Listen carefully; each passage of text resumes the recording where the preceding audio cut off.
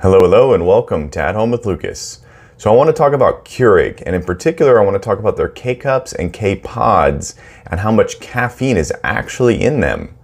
I'm sure, like me, you've gotten up in the morning, made yourself one single K cup or K pod, and then consumed that and felt tired.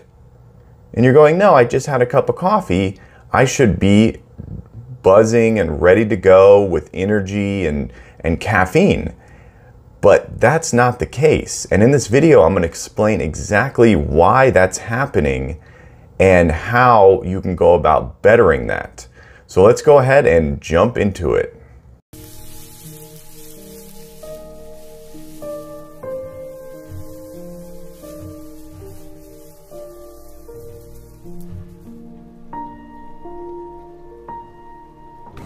All right, so let's talk about each one of these. So, when you think about making a cup of coffee in the morning, do you go for your K cup or your K pod, or do you go for a tablespoon or a scoop to add your coffee to your French press or your pour over coffee maker um, or any other kind of maker that you need to add a scoop? Now, you would think that it's going to be relatively the same. A cup of coffee is going to be a cup of coffee, but that is not true at all. And let's just jump into this. Okay. So, this is the standard K cup. This is what we've been buying, and we've been told that this thing is going to give you a cup of coffee. Now, Keurigs can have anywhere from 6 to 18 ounces of water per brewing. So when you think about a Keurig, you think, okay, I'm going to throw in a K cup and then I'm going to go out the door. Well, what you're not realizing is this thing only has anywhere from 0.30 ounces to 0.47. That's the highest I've seen. Now, what does that mean in terms of caffeine? Well, this thing right here has 0.0 three one ounces in it of ground coffee, and that's equal to 35 milligrams of caffeine. Now you're thinking, well, what does that mean? Well, a regular cup of coffee has 95 milligrams of caffeine, and that's just a regular drip cup of coffee, eight ounce. so, this thing that you can only make a minimum of six ounces is only 35 milligrams of caffeine. Okay. Now you would think, oh, this thing is better, right? This thing, you know, it looks different. It feels maybe a little bit different. Nope. This has 0.36 ounces of ground coffee in it. And that's equal to 40 milligrams of caffeine. So when you put this into your Keurig machine and you put in eight ounces of water or you push the eight ounce button or whatever you do with your Keurig machine, you're only getting less than half the caffeine of an eight ounce cup of coffee. Now, when you come over to this guy, this right here is is a one ounce scoop. So this is one ounce of ground coffee in here. Now, depending on how fine you grind it, will determine how much actual caffeine is in here. Because if you find if you grind it more fine, then you're going to get more caffeine because more is going to fit into this cup. But if you grind it more coarse, you're going to get a little bit less caffeine. So, depending on what you're making, French press, espresso, pour over, you're going to, of course, grind it differently. So, what does that mean? How much caffeine is in this one scoop? This one scoop equals 95 milligrams of caffeine, roughly. That's not science, but that's roughly. I put three to four of these in my pour over every morning. Okay. yeah, three to four. That's 380 milligrams of caffeine going into my body every time I make a pour over. Yeah, that's insane. I didn't know I was doing that until I did the math and found that out. So, this is very shocking to me because I always thought that if I do two of these or two of these, it would be equal to my pour over, the amount that I put in my pour over. Not true at all. I actually thought this was going to be similar.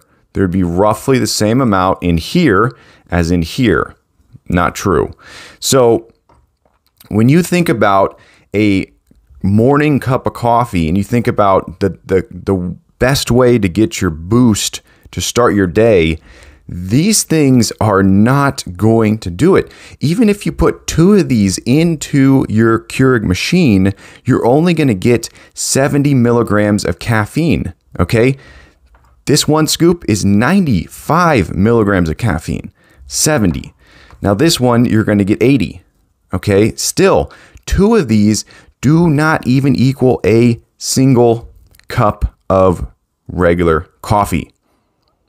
Yes, I know this is shocking. this is very shocking. That's why they do not tell you the caffeine level of this. And that's also why Starbucks has the 2x caffeine because they're realizing that people are drinking these things and it's like they're drinking water or less than a can of Coca Cola. This has less caffeine than a can of Coca Cola. So think about that. How much energy do you get from a can of Coke? Not much. Of course, the other stuff slows you down, but still, it's not much. So you have to put like four of these in just to come anywhere near a, a pour over or a French press or whatever you're doing with uh, scooping out ground coffee. Um, so that is that is huge. On top of all of this, how do you make the equivalent? Well, you have to put in four of these. How are you going to do that? The minimum is six fluid ounces. There is no way anyone is going to be able, unless they have an 18 ounce travel mug, to do four six ounce pours. Like that's just it's it's crazy. The Keurig machine is basically a machine that is limiting the amount of caffeine that people are able to consume into their bodies. And I don't understand it. And I think that the machine needs to be redefined. And I, am hoping these pods do that. I'm hoping these pods begin to get longer. Okay. Because remember, the, the, the machine can hold this much plastic. Okay.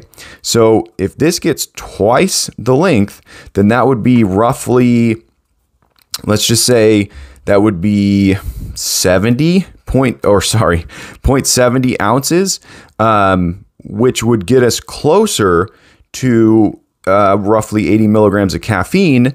So then if you put two of these in then you'd be getting a good cup of coffee. But still at that point that's that's only 160 uh, milligrams of caffeine um, that you'd be getting. So that's still not the equivalent of doing a pour over where you're able to do a one ounce scoop per brew. Now, one ounce scoop is going to cost you money. So, for anyone out there who is totally sold on doing a pour over or a French press, let me tell you, if you don't watch out, you are going to be spending way more money on coffee than everyone else a one ounce scoop is one ounce. Like you buy a 12 ounce bag, you buy a 10 ounce bag, that's one of those ounces right here. Okay. I put three or four in at a time. So my 12 ounce bag does not last me very long at all. Um, and I'm now starting to rethink how much um, I actually need all three or four scoops. Uh, of course, the flavor is unbelievable and you just cannot beat that. But still, that is a lot of money and a lot of scoops, which also brings me back. You have to watch out because they may say 82 pods or 82 K cups for $20 or $30 or $40. And you may think, wow, I'm getting 80, 90, 100 of these bad boys, and that's a good deal. It's not a good deal because you have to realize what are you actually getting when you buy 82 of these? Well, you're getting anywhere from 25 to 30 ounces of actual ground coffee. Okay, so you compare that to a 12 ounce or 10 ounce bag of whole bean coffee or ground coffee, and you can pay anywhere from five to let's say $12 for a 12 ounce bag of coffee, right? That's kind of standard, five to 12 bucks for that. So you can add that up in your head right now as we're as I'm talking, and you can realize that these things are not that cheap they act like they're cheap and they try to come across as being very cheap because they're flaunting 24 pack, 50 pack, 82 pack, 72 pack, 100 pack. They're flaunting this big number of of cups and in reality the amount of coffee that you're actually getting, the grounds you're getting uh, it's not that much.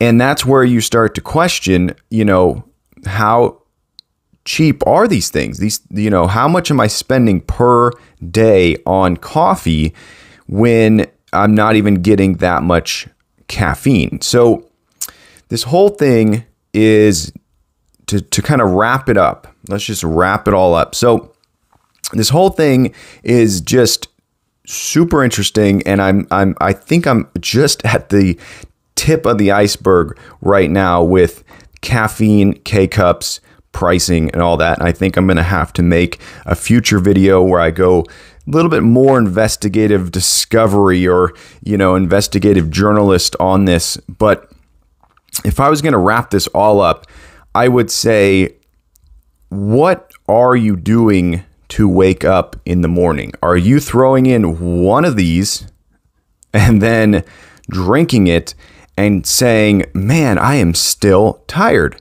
Well, yes, you're tired because this thing only has 35 milligrams of caffeine in it. This thing only has, you know, maximum of 40 to 45 milligrams of caffeine. That's half a cup of coffee, even if you make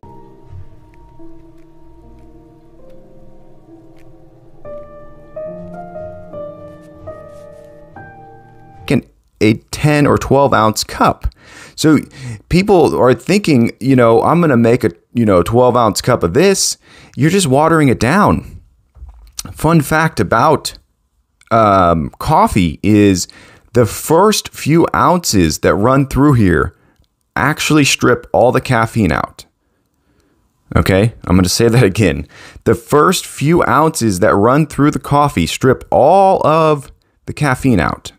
Okay. Then what you get is more water and flavor. Okay. You're going to definitely get more flavor and it's going to weaken it as you add more water. Obviously, you're watering it down. Um, so next time you go to the grocery store and you're going to buy coffee, just think about this. What do I want from my coffee in the morning? Do I want a nice boost? Do I want to charge? Do I want to feel like I can conquer the world because I've had enough caffeine? Maybe go for a ground coffee and do a pour over or do a French press. Maybe skip the Keurig.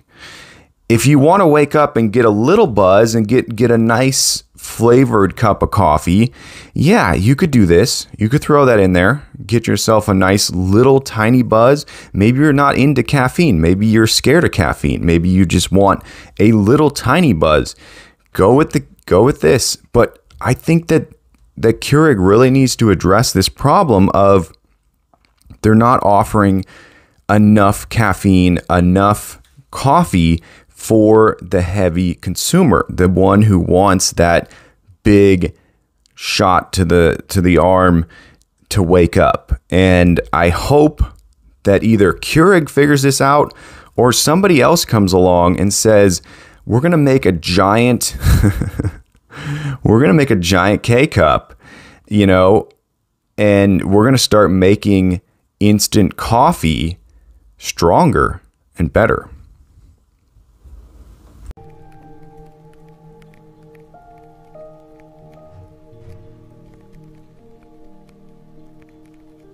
All right, there you go. Hopefully you enjoyed that video. Hopefully it was informative. And if you liked it, definitely smash that like button down below. And if you want to join the At Home family and be a part of this crew, hit that subscribe button. Every time I get a subscriber, I get a boost to make more and more videos. And it's because of you guys, I'm still here. And I'm on my way to 1K, not there yet, but I'm getting close. And I'm so, so excited. It is going to better my life. It's going to better my family's life. And every time you hit that subscribe button, each person, I'm just so thankful. I cannot thank you guys enough. You are amazing. For the people who have subscribed and you're sticking around, thank you. Thank you, thank you, thank you. You are a blessing to me and my family. It's unbelievable. Um, but as always, I thank you so much for watching each and every one of my videos, and I will catch you in the next one. Bye bye.